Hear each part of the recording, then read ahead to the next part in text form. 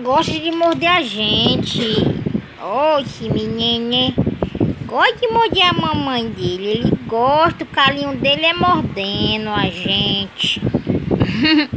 Mas esses carinhos estão ficando muito cruel. Viu? Hum. Vai brincar, neném. Vai brincar, vai brincar. Ai! Vai brincar, neném. Tá bom, tá bom, tá bom. Sai, que a mamãe vai tirar um cochilo, tá? Vai tirar um cochilinho também. Ai!